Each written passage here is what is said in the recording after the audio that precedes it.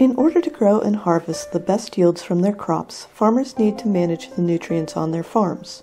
In Pennsylvania, this usually means writing a manure management plan to help them show when and where nutrients from manure are stored and used throughout the year. But sometimes a more advanced plan is necessary.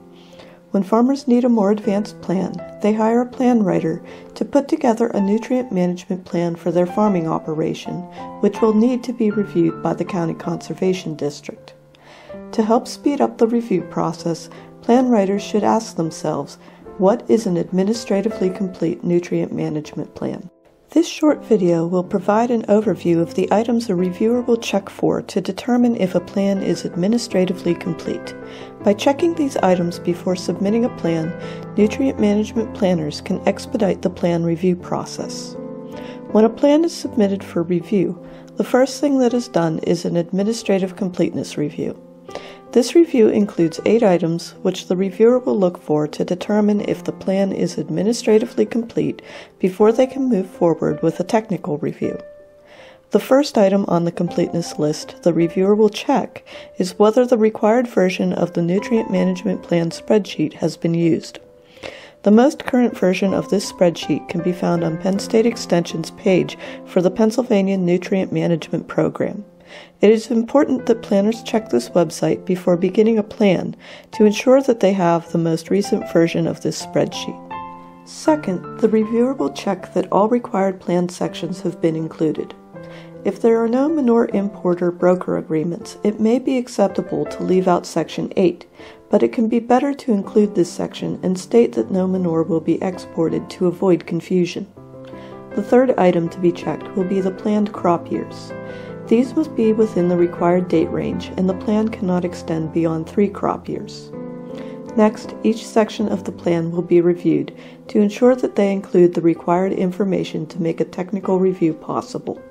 The plan must include current soil tests. This means that tests need to be less than three years old and meet acreage requirements. Tests must also use the correct testing method.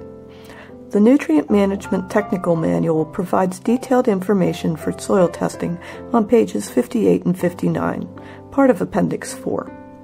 Penn State's Agronomy Guide provides information on proper soil testing too. Manure tests must be included and be less than a year old. They also need to result from the current operation management program.